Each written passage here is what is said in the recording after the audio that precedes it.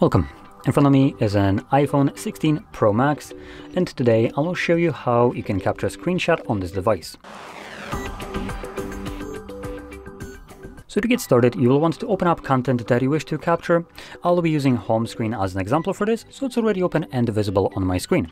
Once the content that you wish to capture is open on your screen, all you will need to do is hold, or more like press, power button and volume up at the same time you will have the sound along with the pop-up right here uh, that shows you the uh, screenshot that I've captured and after a moment it disappears. Once it does so, you're gonna find the screenshot by going into your, just close this, into your Photos application and if you have just captured it, it will be visible at the very bottom of your Photos library. As you can see it's right here for me, but if you're trying to find screenshot that I've captured some time ago, it might be easier to scroll down a little bit further and here you'll find collections.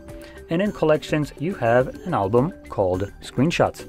Obviously in this album you'll find strictly screenshots and nothing else, which makes it much, much easier to find uh, some long ago captured screenshots.